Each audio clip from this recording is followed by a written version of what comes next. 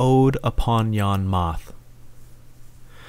O moth, you mothiest of creatures, you mothy moth, you!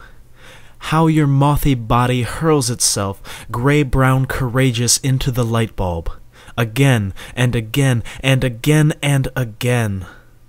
How you must burn, the gossamer shroud of your wings so near to bursting! Oh, that unknowable brightness! Men have done such things for love love of the open places, love of night. Does she not love you as she promised? Or is it simply that the pinprick stars of your compass have been eclipsed by this incandescent juggernaut, this radiant, unfeeling man thing? Either way, please stop. That mothy tink, tink is a splinter I will not long abide. Only death and madness await your kind, hardwired to follow the filament gods through this age of ubiquitous neon. Death and madness.